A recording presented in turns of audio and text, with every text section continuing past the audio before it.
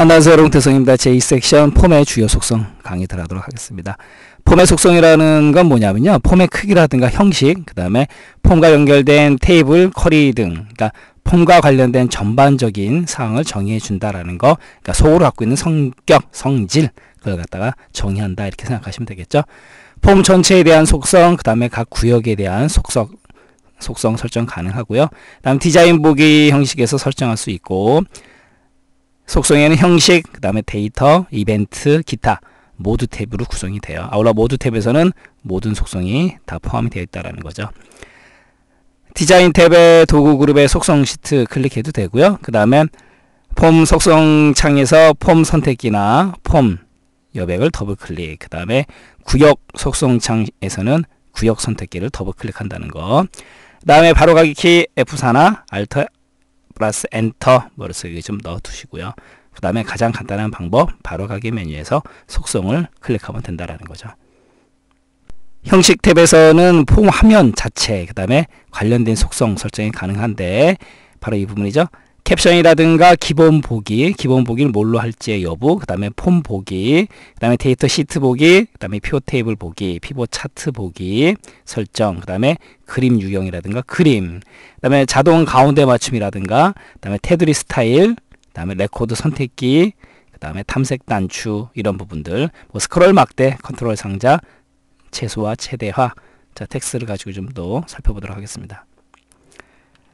캡션이라는 거는 폼 보기의 제목 표시줄에 나타나는 텍스트다라는 거고 그 다음에 이 기본 보기 기본 보기 같은 경우는 보기 형식을 지정한다라는 거죠. 그래서 단일 폼이 있고 연속 폼이 있고 그 다음에 데이터 시트 피벗 테이블 피벗 차트 이렇게 선택할 수 있다라는 거고 그림 유형 그림 그 다음에 자동 가운데 맞춤 중앙 정렬의 여부, 그다음에 자동 크기 조절 할지 안 할지 여부다라는 거죠. 그다음에 테두리 스타일 같은 경우는 저희 교재 2단 쪽에 그림을 정리해 드렸죠. 그게 시험 문제 한번 나온 적이 있으니까 그림을 보고 한번 정리하시고요. 데이터 탭에서는 폼에 연결된 테이블이나 쿼리에 대한 관련된 속성이다라는 거죠. 바로 이 부분. 그래서 레코드 원본 테이블 어떤 걸로 할지 여부, 그다음에 레코드 집합 종류, 그 다음에 필터, 그 다음에 정렬 기준, 그 다음에 이 부분이죠. 추가 가능, 삭제 가능, 그 다음에 편집, 필터, 레코드 잠금에 대한 설정 여부 설정할 수 있다라는 거죠. 기타 탭에는 이제 팝업과 modal이 있는데요. 바로 이 부분이죠. 팝업이라는 건 뭐냐면 폼을 항상 다른 창 위에 나타나게 할 것인지에 대한 여부다라는 거죠. 기본값은 아니오고 그래서 예를 선택하게 되면 해당 폼은 항상 다른 창 위에 당연히 표시가 된다라는 거고 그 다음에 modal 요거 좀 조심하셔야 돼요. modal은 뭐냐면 폼을 modal 폼으로 열지에 대한 여부다라는 건데 기본값은 아니오예요. 근데 만약에 이 modal을 예를 선택하게 되면 어떤 문제가 생기냐면 바로 이겁니다. 현재 modal 폼을 닫기 전까지 다른 창을 사용할 수가 없어요. 이거 여러분들 조심하셔야 됩니다. 탭 순서라는 거는 폼 보기에서 탭이나 엔터를 눌렀을 때 각 컨트롤 사이에 이동되는 순서를 의미한다라는 거죠. 아울러 폼의 컨트롤 추가한 그 순서가 그대로 결정이 돼요. 조심하시고 그 다음에 탭 정지 속성의 기본값은 예인데 만약에 아니오를 선택하게 되면 탭을 눌러도 커서가 오지 않는다라는 거 조심하시고요. 그 다음에 조심하실 건 레이블하고 이미지 컨트롤은 탭 순서에서 제외입니다. 탭 정지 속성이 지원되지 않는다라는 거 조심하시고 폼 디자인 도구의 디자인 탭의 도구 그룹에 탭 순서로 실행시키면 되는 거고요. 탭 순서 대화 상자에서 구역에서 변경할 구역을 선택한다. 바로 이 부분이죠. 그 다음에 사용자 지정 순서 행을 클릭해서 선택하거나 또는 여러 행을 갖다가 클릭한 다음에 끌어서 원하는 위치로 배치시킬 수 있다라는 거 조심하시고 그 다음에 아랫부분 자동 순서 이 부분이죠.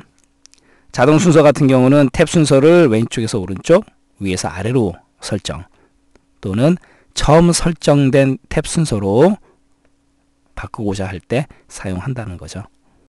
컨트롤의 탭 인덱스 사용하기 가겠습니다.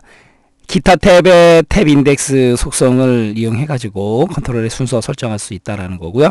해당 컨트롤을 더블 클릭해서 속성창이 나타나게 한다. 아울러 작성기 단추를 클릭하게 되면 탭 순서 대화 상자가 나타난다는 거죠.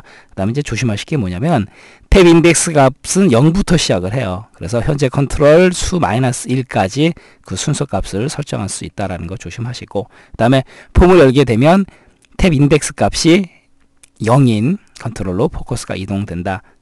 당연한 얘기죠. 자, 이걸 한번 보겠습니다. 지금 사원 번호를 선택한 상태의 속성 시트에 보면 탭 인덱스 지금 몇 번이죠? 0번이죠?